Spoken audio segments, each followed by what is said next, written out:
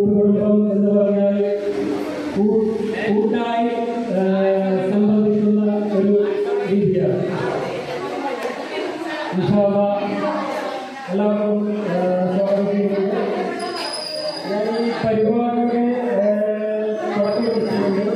ഒരു പാട്ടായിരിക്കാം എല്ലാവരും